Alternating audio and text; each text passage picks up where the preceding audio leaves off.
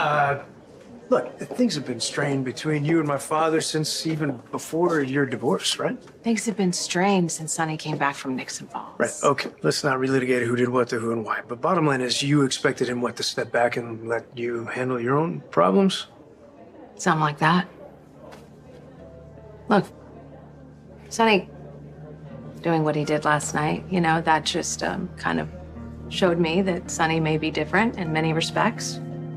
But at his core, he's still the man he's always been. I, I heard Carly had some trouble after the wedding.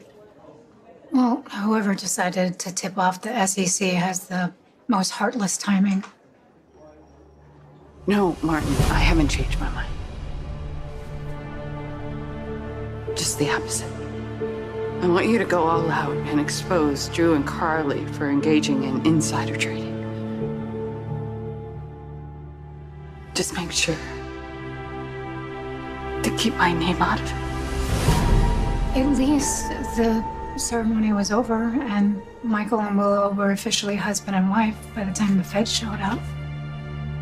Is Willow really upset? Um, I mean, how could she not be?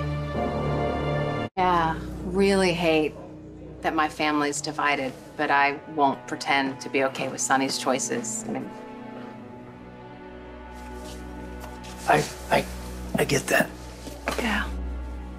I mean, specifically, the way he sided with Nina going after Michael and Willow. I know, I know you don't want to get into it, right? We don't want to talk about that. Look, everything went downhill pretty much from the visitation hearing, right? Right. And then I didn't tell Willow that Nina was her mother, and Sonny got all upset about that. Well, that's understandable. Regardless of how you feel about Nina, Sonny cares about her and she's hurting, then he's going to be hurting too. She's hurting. Yeah. Okay. Well, Sonny and I are pretty far apart. But when I realized he was the one that helped me last night,